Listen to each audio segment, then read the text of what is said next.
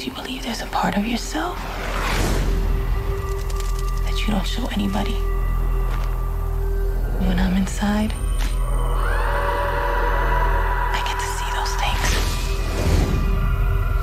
I feel them.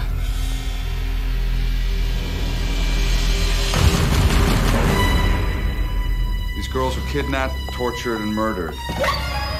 Our killer is a white male, about 30 years old. Carl Rudolph Stargher once had the house under surveillance for about 20 minutes. He keeps them in this thing for about 40 hours.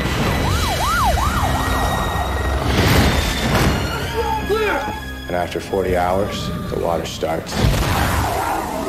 And it doesn't stop. There is a girl that is missing. Her name is Julia Hickson. He is the only one that knows where she is. If he was conscious, do you think that he would tell you where she is? Are you sure?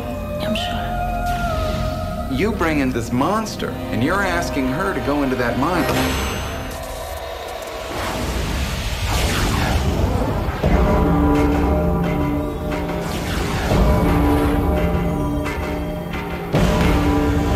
Where is Julia Hickson? No names.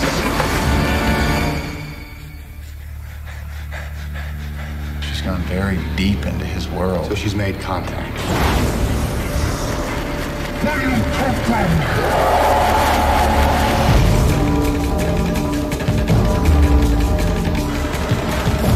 She's lost. She thinks this is real. I'm going in to get her.